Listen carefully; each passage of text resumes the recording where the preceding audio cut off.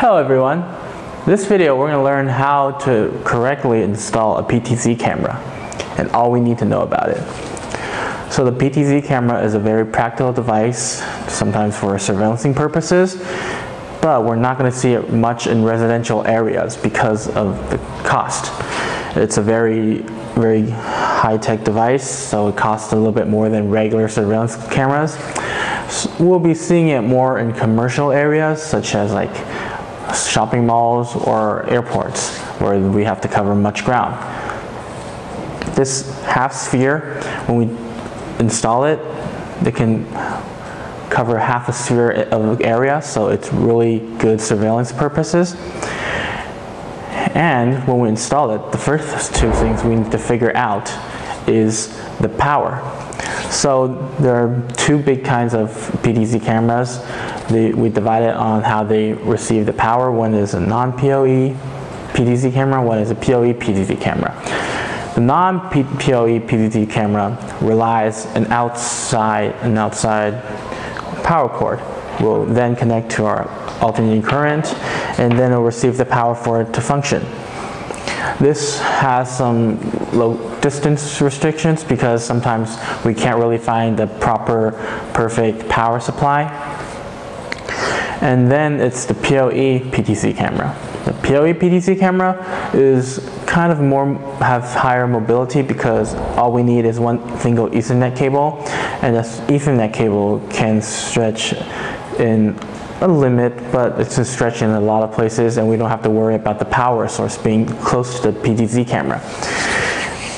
Although when it comes to the PoE, PoE, so PoE PTZ cameras, we have to make sure that the remaining power to the PTZ camera uh, is minimum power consumption say we sometimes because of the distance or the power supply equipment cannot provide enough power, the PTZ camera won't turn on at all. So there are usually two power supply equipments which used for the PTZ camera. One is the PoE switch, the other is the PoE injector. The PoE switch is just a regular switch with PoE features integrated.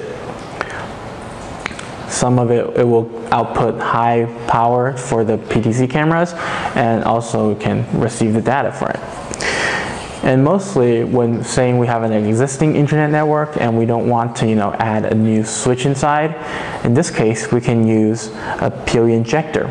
It's a really simple device. We don't need to like tear down our old setups. All we have to do is plant this between the camera and the data provider.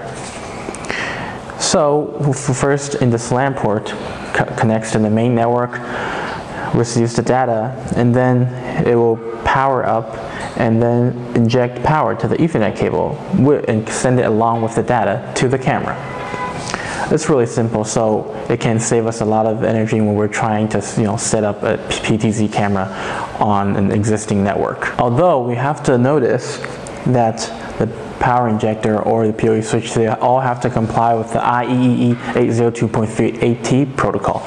This one uh, releases higher power at the, at the ports and will provide up at least 30 watts.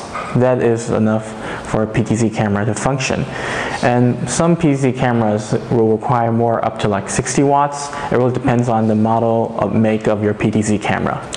After figuring out the power supply for the PTZ camera, then we have to figure out the location. Well, PTZ cameras they're installed upside down, and mostly we put them in roofs, walls, or a, pole outside and go up high. And then it comes to altitude. We would like the PTZ cameras to be installed as high as they can. If they go high enough, they can cover more ground because of the panel tilt zoom feature. They can cover a lot of ground by zooming in and out, tilting up and down, and paneling around the panel. And then it will be the environment.